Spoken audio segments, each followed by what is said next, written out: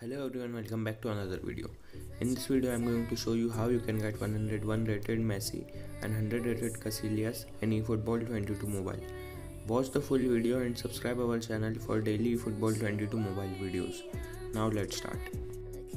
So guys, the first and the most basic requirement is that you all should have iconic Messi and Casillas with you.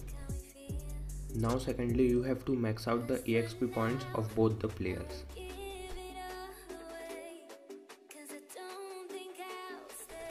After it's complete, click on the first option. Don't click on the second option because you have no need to change the gameplay style of player. So click on player stats. After clicking on it, just do the following changes in the player stats and then click on proceed. And that's it, your player is now ready.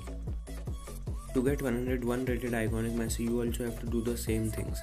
First of all, max out his EXP points and then don't change his gameplay style. Directly come on player stats and then change the stats one by one and you can click on suggested area if you want. It will help you to know what's the player rating currently. That's it for today's video. Please like this video and subscribe our channel for daily football 22 mobile videos. Thanks for watching.